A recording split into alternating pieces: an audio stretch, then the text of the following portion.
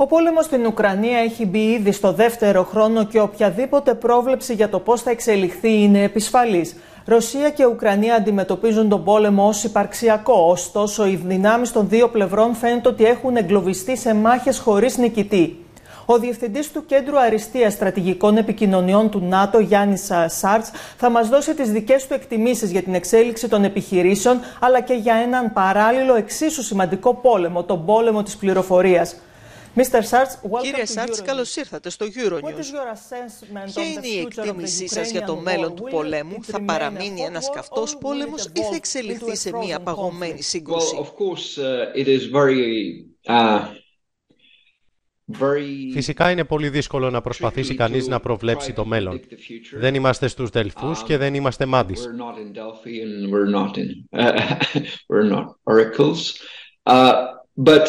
Αλλά η εκτίμησή μου είναι ότι δεν θα εξελιχθεί σε έναν ψυχρό παγωμένο πόλεμο, γιατί έχουν διακυβευτεί τόσα πολλά σε αυτόν και γιατί έχουν διατεθεί τόσοι πόροι και από τις δύο πλευρές συμπεριλαμβανομένης και της δύσης σε αυτή τη σύγκρουση, που νομίζω ότι θα έχει διαφορετική κατάληξη.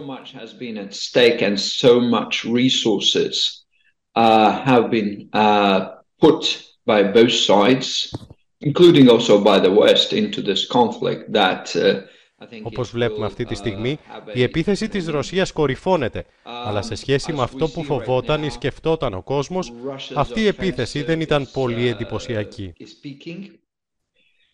But relative to what people were afraid of thinking, this offensive has not been very impressive. Έτσι θα περιμένουμε, νομίζω, κάπου στα τέλη της Άνοιξης μια Ουκρανική αντεπίθεση.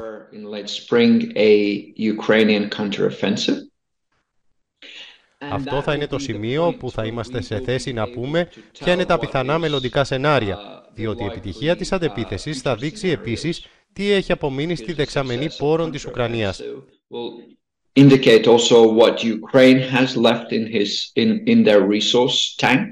Είδαμε τι έχει η Ρωσία.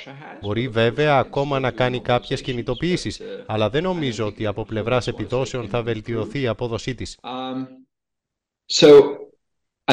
Έτσι νομίζω ότι αν η Ουκρανική επίθεση θα είναι επιτυχής, θα δημιουργήσει μια νέα δυναμική σε αυτό τον πόλεμο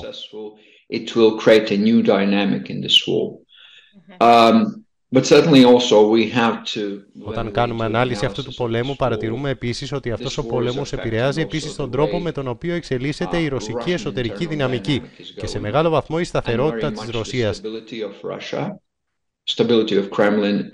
Η σταθερότητα του Κρεμλίνου εξαρτάται από την πορεία αυτού του πολέμου. Ακόμα και αν σταματήσουν οι μάχες στην Ουκρανία, νομίζω ότι η κρίση θα έχει ένα νέο πρόσωπο και αν η Ουκρανία κερδίσει, τότε η κρίση θα ξεκινήσει στην ίδια τη Ρωσία.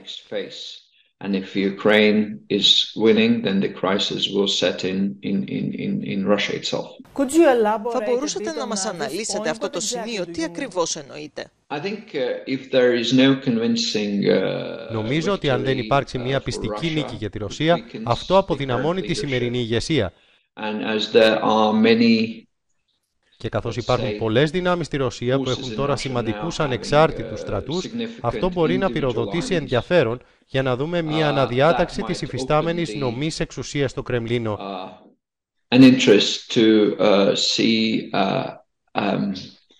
Αν υπάρξει κάτι που μπορεί να θεωρηθεί ως ΣΥΤΑ στην Ουκρανία, αυτό θα αποδυναμώσει την τρέχουσα ηγεσία και θα γεννήσει τη δυνατότητα να αμφισβητηθεί η υφιστάμενη κατάσταση της εξουσίας.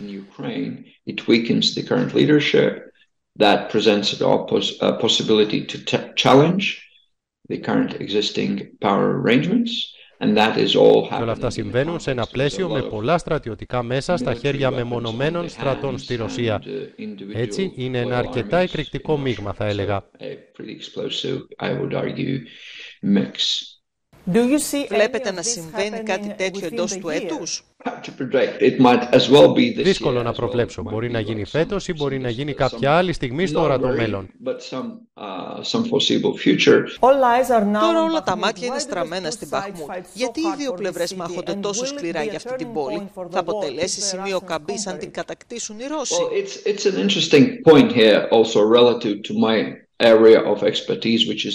Αυτό είναι ένα ενδιαφέρον σημείο σε σχέση με τον τομέα της ειδικότητάς μου, που είναι η πληροφοριακή διάσταση.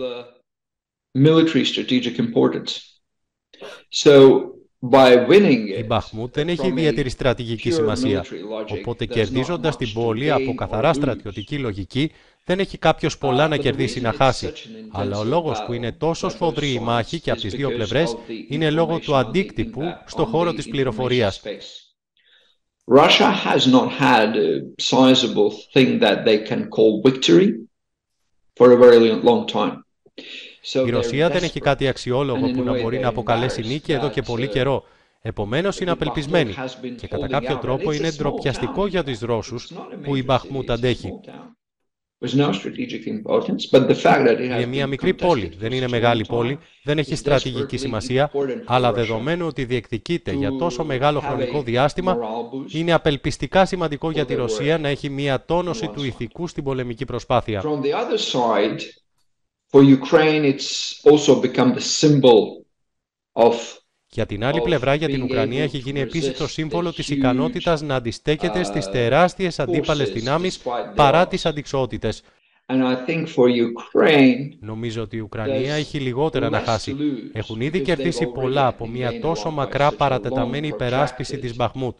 Ο λόγος που αντιστέκονται είναι για συμβολικούς λόγους και για λόγους πληροφόρησης. Το διακύβευμα είναι πολύ υψηλότερο για την Ρωσία από ότι για την Ουκρανία σε αυτό. Σε μια πρόσφατη παρουσίαση υποστηρίξατε ότι η Ρωσία έχει χάσει τον πόλεμο των πληροφοριών. Τι σημαίνει αυτό και γιατί είναι σημαντικό;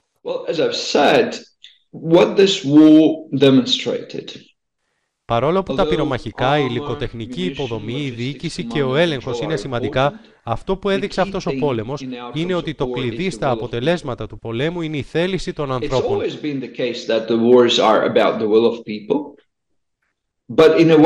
Πάντα ήταν γεγονός ότι οι πόλεμοι εξαρτώνται από τη θέληση των ανθρώπων. Αλλά κατά κάποιον τρόπο σκεφτήκαμε ότι πιθανώς στον 21ο αιώνα η τεχνολογία είναι ίσως ο καλύτερος δρόμος.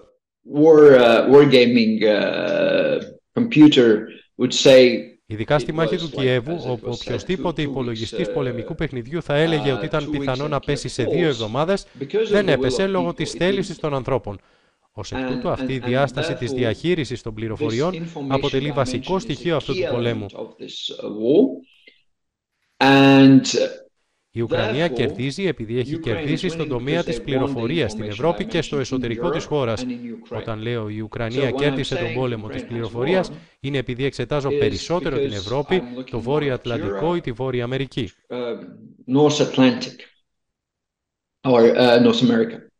Πιστεύετε ότι αυτή η νίκη στον πληροφοριακό πόλεμο ήταν η κύρια διαφορά μεταξύ αυτού που συνέβη το Φεβρουάριο του 2022 και της κατάκτησης της Κρυμαίας; Uh,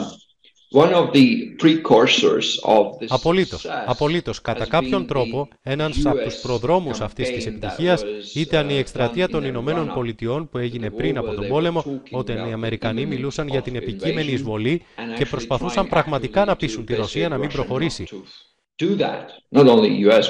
Και όχι μόνο οι Ηνωμένες Πολιτείες, αλλά και πολλοί άλλοι αρχηγοί ευρωπαϊκών και άλλων κρατών προσπάθησαν να σταματήσουν τους Ρώσους. Αυτό δημιούργησε ένα διαφορετικό πλαίσιο. Έτσι, από τη στιγμή που ξεκίνησε η εισβολή, για όλους ήταν ξεκάθαρο τι συμβαίνει. Ποιοι είναι οι κακοί, ποιοι είναι οι καλοί; Και εκεί ήταν που η Ρωσία δεν μπόρεσε να επαναλάβει αυτό που έκανε το 2014 στην Κρυμαία, θολώνοντας το χώρο των πληροφοριών.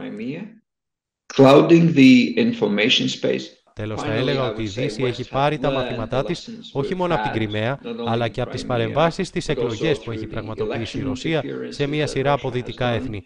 Η Δύση πήρε το μάθημα και ανέτρεψε την κατάσταση. Κύριε Σάρτ, σας ευχαριστούμε πολύ.